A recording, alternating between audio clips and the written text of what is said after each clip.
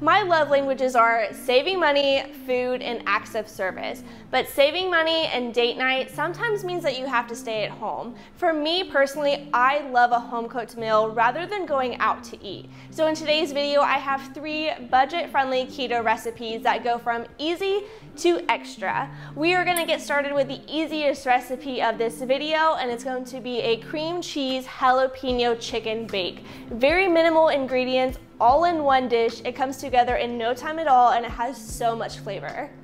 To start off, we are going to add in one block or eight ounces of cream cheese. I've had mine sitting out on the counter so that it can get a little bit melted. To this, add in one tablespoon of diced jalapenos. Pour in one can of diced chilies. Now, if you don't like a lot of spice, you could definitely just do half of a can. So that would be two ounces instead of four ounces.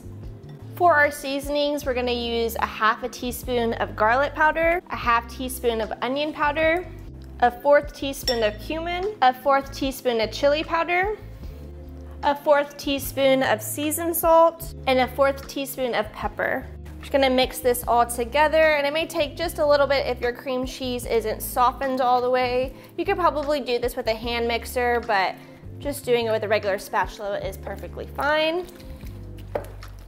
With my cream cheese all mixed together, set that to the side and we're gonna add our chicken breast into our casserole dish. Now these look a little weird because they are actually frozen from a bag chicken breast.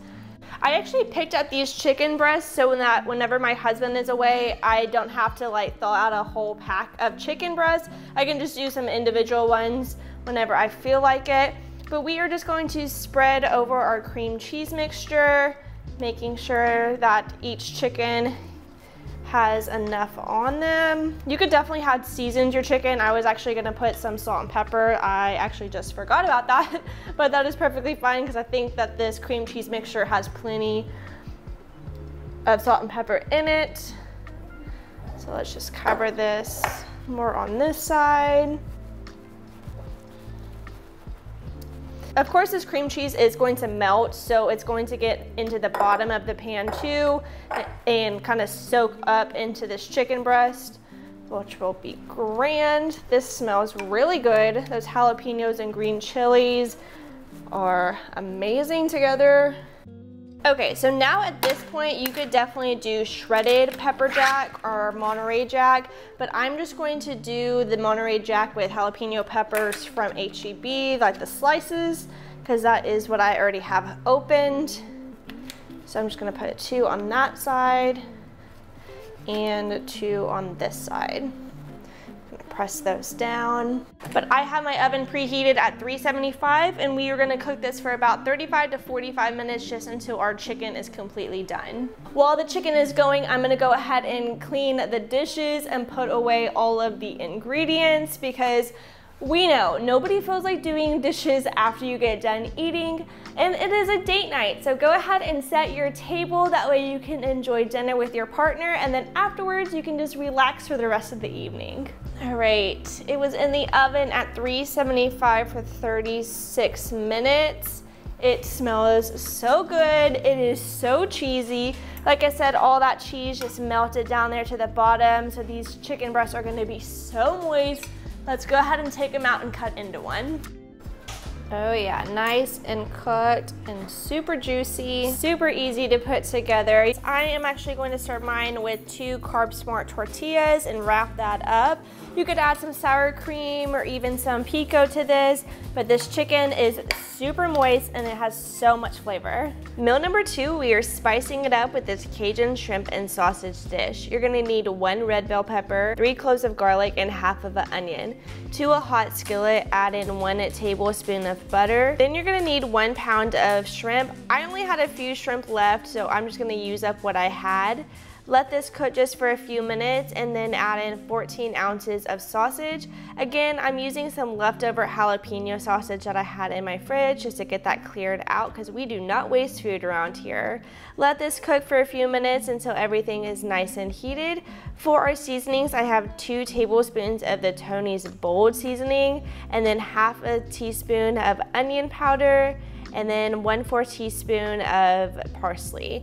Mix this together. Now the seasonings did stick to the bottom of my skillet because I didn't have enough liquid, but it is fine. We're gonna add in about a half a teaspoon of some butter just to let that melt down and get everything scraped off the bottom of the pan. Once your sausage and your shrimp are fully cooked, we're just gonna remove them from our skillet and set that to the side. Add in one tablespoon of butter and let this melt down. Cook down your onions and your garlic until they are translucent and then add in your red bell pepper. Give this a good stir. I like my red bell pepper a little bit crispier, but you can cook it for as long as you would like. Once cooked down, add in one third cup of vegetable broth and then pour in one and three fourths cup of heavy whipping cream, stirring this together, making sure you get all the seasonings from the bottom.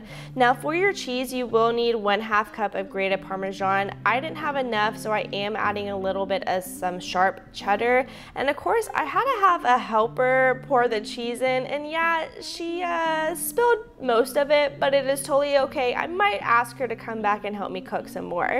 But you're gonna just melt your cheese, turn this onto a simmer just for a few minutes. That way everything can get nice and melted and bubbled up.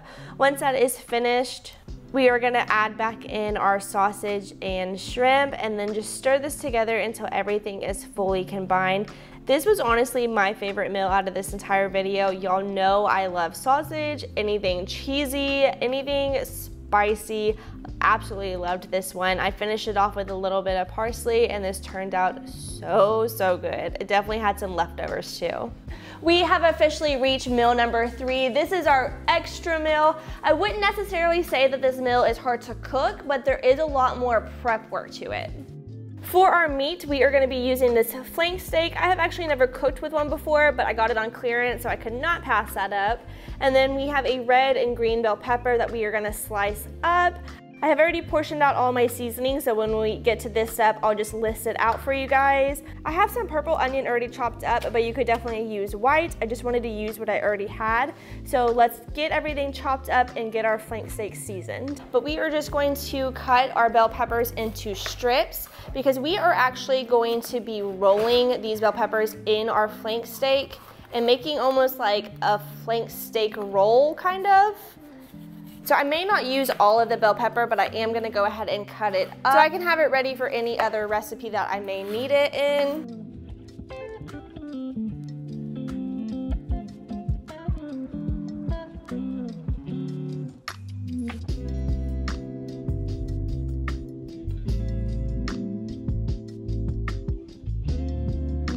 The red is done. Let me know in the comments down below if y'all are more of a red bell pepper fan or a green bell pepper. I've actually found that I really enjoy the red bell pepper more. I just think it has a little bit more of a bolder flavor to it. But in the green bell pepper is just a little bit sweeter to me.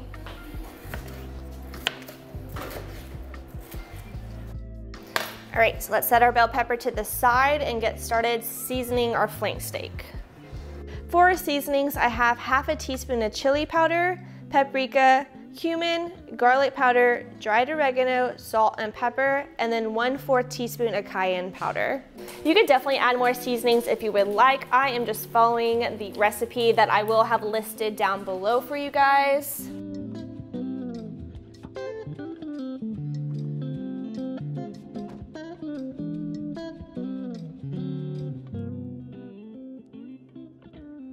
So I've just seasoned the meat. I'm gonna go ahead and cut down the veggies. I just have a tablespoon of butter, but you could definitely use olive oil if you would like. We're gonna go ahead and cut down our peppers. I did get my onions just a little bit brown, but that is perfectly fine. I kind of got uh, distracted on vintage Instagram live sales. If you are a vintage lover like me and you've never shopped on Instagram live and you would like to know more about it, let me know in the comments down below because that in Goodwill is the way that I have decorated the majority of our new house and I am in love with that style. With our peppers done, we are gonna get to tucking and rolling. So my grain is laying this direction instead of sideways. So I am just going to be placing my peppers in like this, and then we are gonna be rolling from right to left instead of from front to back, like the original like the original recipe had it. I wanna make sure that we're leaving enough space on this side that I can get a nice grip on it to be able to roll. To add a little bit more of the green on this side. And then you could definitely use any type of cheese. I'm using this Mexican style from Kroger just so I can get it out of my fridge because I don't have a whole lot of left.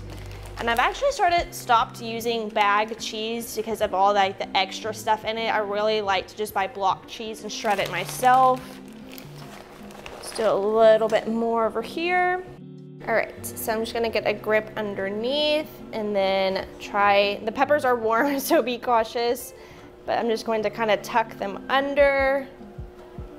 Make sure I'm tucking on the sides, just like that.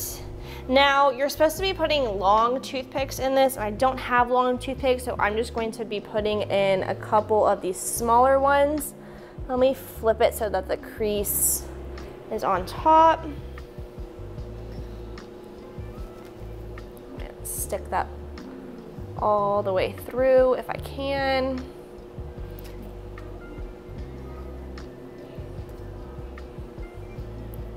All right, so this is this right here is going to be like one piece. These are gonna be a little bit bigger than expected, but that is fine.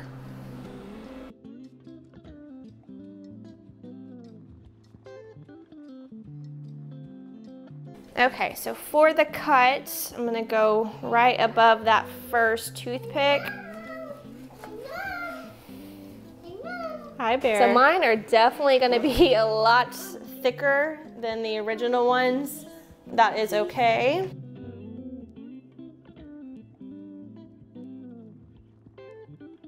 So into my cast iron skillet, it is warmed up. I'm gonna add in a tablespoon of butter to cook our steaks in.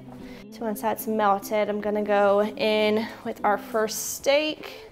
We were just looking to get this seared on each side, get nice color, and then depending on how you like your steak cooked, you can go ahead and put it in the oven at 350 for 10 minutes. That's what I'm gonna go ahead and do because these do seem a little bit thicker. But if you like your steaks more on the rare side, you could definitely just cook it in the skillet. Getting a nice brown color on that side. Just gonna go ahead and flip them. With this meal being the extra meal, it's not really hard to cook. It's just, like I said, all the extra prep. But it seems pretty simple. It's coming together in no time at all. Maybe 30 minutes by the time you get everything kind of cut up and rolled up. I'm gonna throw in the little pieces for my daughter and go ahead and get those cooked up so that she can go ahead and eat because nothing says date night like having a little one at home. and then I'm gonna place these into the oven that is at 350 for 10 minutes. After 10 minutes, I went ahead and took it out of the oven. It looks so good. It's nice and juicy. Let's go ahead and cut into one and see how they turned out. It has a little bit of pink. It is not overdone, so this is nice and juicy. Let's go ahead and try it. That was really, really good. The cheese and that pepper mixed together, that steak had so much flavor with all of those seasonings. Definitely make this one for your partner. It does not have to be a date night. Make them feel special every night. I hope you guys enjoyed this video. If you need some more dinner ideas, check out this video here and I'll catch you guys there.